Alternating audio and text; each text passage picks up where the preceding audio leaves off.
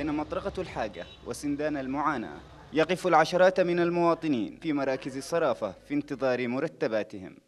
في الوقت الذي تشهد فيه العملة انهيار كبير يقابلها ارتفاع حاد في أسعار المواد الغذائية.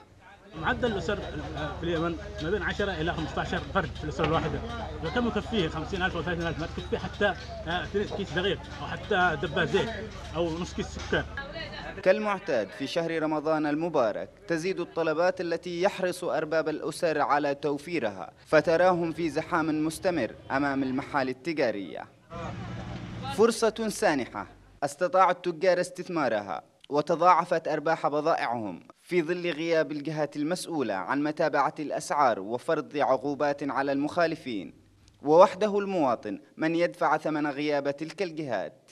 يعني يقلوا علينا الأسعار ورمضان واجي والأسعار ترتفع كل يوم يعني نار ونحن بدون رواتب ولا أي شيء. الأحوال جميعها متشابهة في كل الحالات وتتشابه الأحاديث أيضا فالقضية عامة والمواطن وحده يستمر في دفع ضريبة أنحنى لها ظهره وأرهقت كاهلة. لطفي إبراهيم قناة بلقيس أبين